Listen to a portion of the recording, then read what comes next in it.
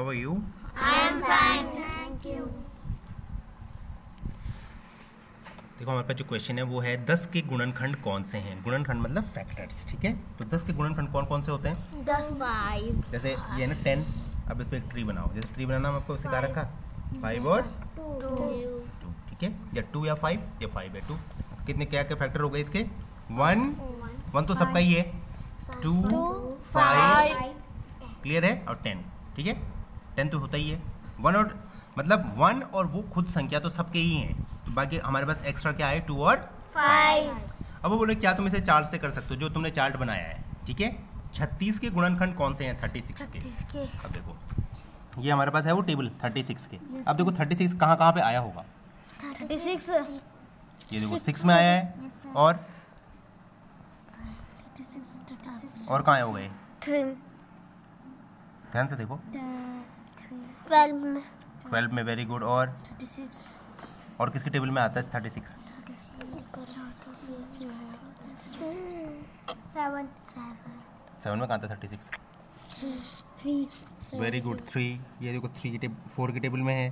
Three के table में भी आया है यहाँ देखो थर्टी सिक्स के फिर सिक्स में आया है ट्वेल्व में आया है और एक नाइन में आया है। ठीक है? सेवन में भी आया जी। कहाँ है सेवन में?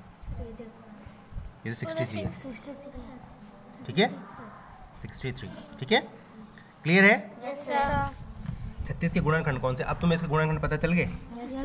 वन टू टू में भी आता है ये। टू एटीन जा। एटीन के टेबल में भी आया है। ठीक है? Two three four six nine nine twelve eight में तो नहीं आता ना? ट्वेल्व ठीक है? क्लियर है? फिर एटीन और थर्टी सिक्स थर्टी सिक्स ठीक है? वन और थर्टी सिक्स को तो हम लेंगे नहीं ये बाकी सारे इसके क्या हैं? फैक्टर्स हैं। अगर हम थर्टी सिक्स का अगर हम ट्री बनाएँ तो कैसा ट्री बनेगा? का टू और एटीन का नाइन और टू नाइन का थ्री और थ्री और थ्री तो क्या क्या होगा इसके factors two two three three ठीक है? टू टू जो फोर थ्री जा ट्वेल्व थ्री जा थर्टी सिक्स इस गुणा के चार्ट से छत्तीस के सभी गुणनखंड ढूंढो ठीक है? तो ढूंढ लिए हमने छत्तीस के। ऐसे सबसे बड़ी संख्या कौन सी है जिसके गुणनखंड तुम इस चार्ट से मालूम कर सकते हो? वन फोर्टी फोर क्योंकि ट्वेल्व का है लास्ट इसमें twelve twelve one forty four. उससे बड़ी संख्याओं के लिए तुम क्या कर सकते हो? वो बोल रहे हैं उससे बड़ी संख्याओं के लिए क्या करना होगा हमें? क्या बनाएँगे फिर हम उसके लिए? या बड़ा ग्रिड बना सकते हैं या हम क्या यूज़ कर सकते हैं ये? ट्री ये फैक्टर ट्री भी यूज़ कर सकते हैं ठीक है? अब देखो साझा गुणनखंड। साझा गुणनखंड को या उसको बोलेंगे हम कॉमन फैक्टर कॉमन मतलब जो दोनों में है। अगर दो संख्या अब तक तो हम एक ही संख्या का यूज़ कर रहे हैं ना। माना हमारे पास दो संख्याएँ हैं देखो जैसे। 25 के गुणनखंड को लाल गोले में और 35 के गुणनखंड को नीले गोले में लिखो। अब 25 के गुणनखंड क्या क्या है? पाँच। पाँच। पंजे पच्चीस ठीक है? और 35 के? सात। सात और? पाँच। पाँच। तुमने दोनों गोलों में आने वाले भाग में कौन कौन से गुणनखंड लिखे? ये 25 और 35 के साझे गुणनखंड है। अब देखो इसमें इसमें भी आ रहा है इसमें भी आ रहा है। क्या हो गया? पाँच। ठीक है। अब तुम 40 के गुणनखंड को लाल गोले में और 60 के गुणनखंड को नीले गोले में लिखो। अब 40 के बताओ। 40 का हम ट्री बना। लेते हैं 40 का? ओके पाँच। पाँच अट्ठे चालीस।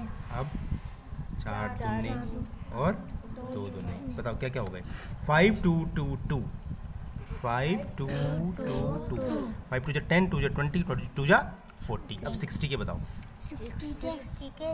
वैसे बताओ बिना टेबल के दिमाग से बताओ। टेन फाइव टेन सिक्स हाँ तो टेन से भी छोटा भी होता है ना। फाइव टू ज़ा टेन थ्री ज़ा थर्टी और टू ज़ा सिक्सटी ठीक है? अब देखो इसमें कॉमन क्या क्या आ रहे हैं।